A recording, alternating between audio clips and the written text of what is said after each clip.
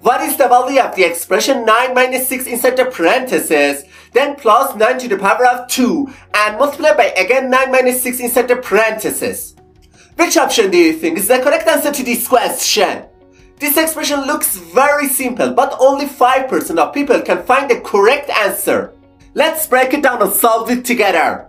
And the first step to solve this question, most people start with the expression inside the first parenthesis and simplify this expression to 3 plus 9 squared multiplied by 9 minus 6 inside the parentheses. And the next step, they usually move on to the exponent and replace this expression with 3 plus 81 times 9 minus 6 inside the parentheses. Then, they perform the addition between 3 and 81 and simplifying this expression to 84 times 9 minus 6 inside the parentheses.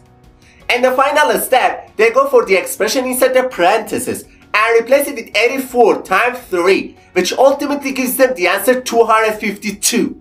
And without any hesitation, they quickly say that option C is the correct answer to this question. But I have to say, we were tricked and it's not the correct answer to this question. Alright, now let's go through this question step by step and solve it together. To solve this problem, we must follow the PEMDAS rule.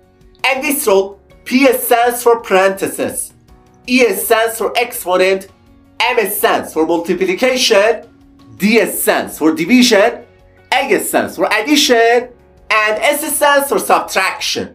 It means that we need to perform all the operations exactly in order from top to bottom according to the PEMDAS rule. Alright, as you can see on the screen, in this expression, first we have a parenthesis, then an addition sign, followed by an exponent, then a multiplication, and finally another parenthesis.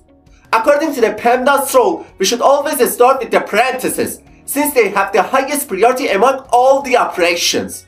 So, instead of the original expression, we can write it as 3 plus 9 squared multiplied by 3.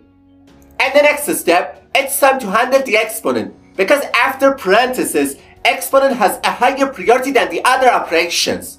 So, we write this expression as 3 plus 81 times 3. Finally, we need to perform the multiplication between 81 and 3.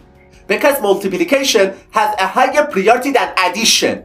And this expression simplifies to 3 plus 243, which ultimately gives us the answer 246.